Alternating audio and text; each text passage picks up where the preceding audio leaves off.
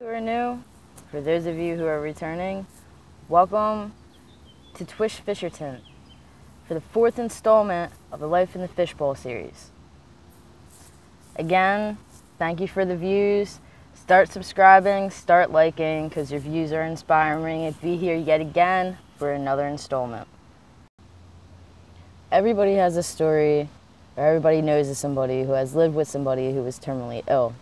So here's my story and my look on it from the age of a 12 year old to a 15 year old. Year was 2005, let's say. Um, my mother was sick. Uh, before we even knew she was terminally sick, she was just sick. We assumed it was probably just a stomach virus or some kind of issue going on because she was constantly throwing up. She couldn't keep food down. She was constantly not feeling well. Um, after a couple of weeks of, you know, kind of shoving it off, doing motherly things, being a mother, taking care of her kids, she finally took the time to take care of herself and went to the doctor. I'm assuming the doctor said, you know, you need to take a couple of tests, and I assume that, you know, I was, wasn't told this information. The doctor told her, you know, you have stage four colon cancer that has spread into your liver. The next two and a half years were a big cluster of misunderstanding for me.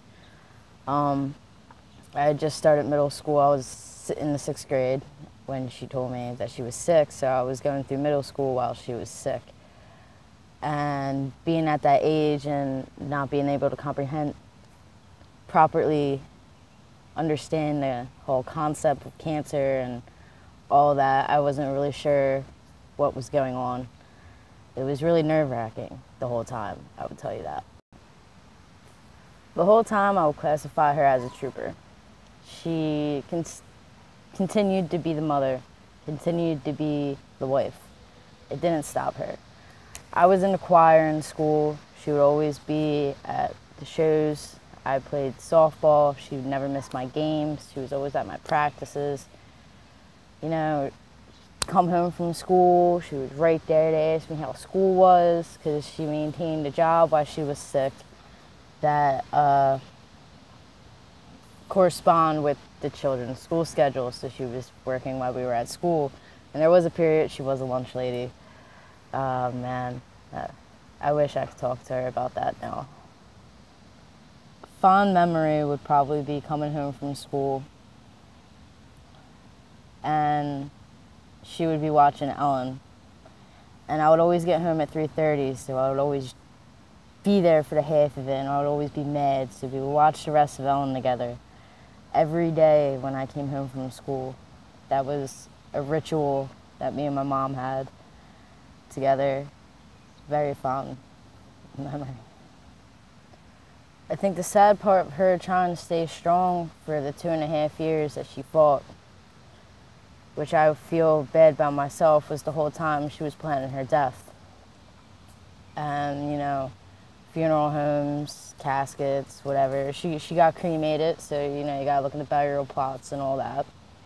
And um, that had to be very tragic because I would ask her where she was going when she'd be going places on weird days at weird times, and she wouldn't tell me where she was going. But now that I'm older, I understand where she was going. I remember when she was getting real sick. She was losing a lot of weight. Mind that, my mom was a 250 pound woman. She's a big lady, beautiful. She looks like me. I get my looks from my mother. She died at 90 pounds. But closer to the end, her humor started coming out because I was a little older, so, you know, I was getting some of her humor. She never stopped making dinner. Even when her hair started falling out from the chemotherapy, she started wearing a hairnet because she didn't want the hair to get into our food. I, don't, I don't think it ever happened to me. I don't know about my brothers or my dad, but I never found her hair in my food. But she started wearing a hairnet, and then it got to the point where I remember I wasn't home when it happened, but I called her. One day I was, was staying with my uncle, and um, she's like, I got something to tell you. I was like, what? And she's like, I shaved my head. And I'm like, nah, and she's like, yeah, I shaved my head. So I asked her, I'm like, Mom, are you going to wear a wig? I'm like, are you going to be one of those people that wear a wig? And she said, no, Trisha, I'm not. People are going to see me as who I am. I am a cancer patient. That's who I am. You take me as I am. Be as you are. Quote from Michelle Marie Richardson. Even after the chemotherapy took her hair, that didn't stop my mom from being a mom. It didn't stop her from being a wife. It didn't stop her from leaving the house. Even when the cancer itself combined with the chemotherapy took my mom's strength and she couldn't walk and she had to be in a wheelchair most of the time to even get out of the house, my mom did it. She rode with two wheels on a wheelchair like a gangster to get out of the house while she was bald. My mom was a thug life chick. Having cancer did not affect my mom at all. The only time it stopped her was when it confined her to the bed because her body physically couldn't take it anymore. My mom did not stop being a mother till she physically could not do it. And that is fucking inspiring. So living with my sick mother for those two and a half years that she battled her cancer made me a stronger person because of the way that she handled it.